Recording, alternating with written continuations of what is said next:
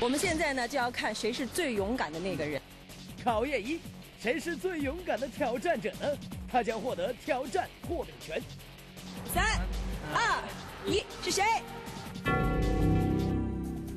三票，OK，你可以先出来。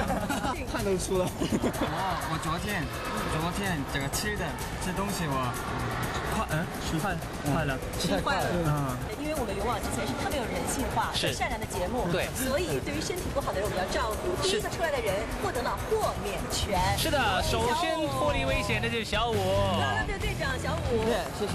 那其实，亲爱的朋友们，这个时候呢，小五已经不用跳了。但是呢，他汉语不太好，他不知道发生了什么事情。啊，你要跳吗？嗯，我要跳。下去开不开心？我开心啊。考验二，谁的胆子更大？同样的问题，又该如何抉择？来，开始。二一。谁票数最多？远呢，上次参加过我们这个挑战之后，是给我打电话，好长一段时间上楼梯都只能爬着上去，真的很不容易的。不高。张远，就是你了。恭喜你成为啦啦队豁免权的第二位。恭喜！我站不起来。你离今天的目标越来越近了。我真的很害怕。这我有一种现在特别强烈的预感，嗯，我觉得今天跳的人就是你。刘洲成会成为今天十米跳台的挑战者吗？剩下三位，到底谁能幸免于难？考验继续升级。接下来，我们的难题不能我们两个来是，解就决。今天我们最后的评委，达伦。达伦，你觉得谁更有缘？在以后的日子里边，比如说你们两位躺在床上啊，可以聊得来，这个开心一些。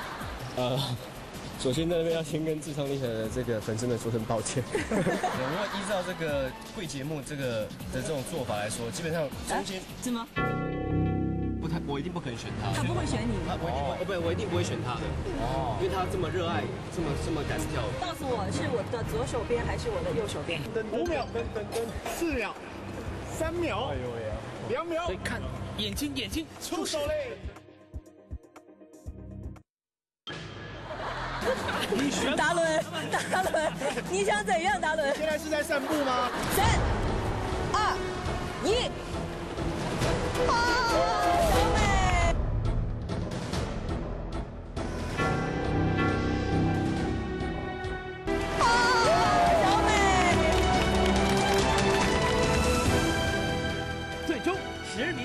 挑战者就是达伦和刘洲成。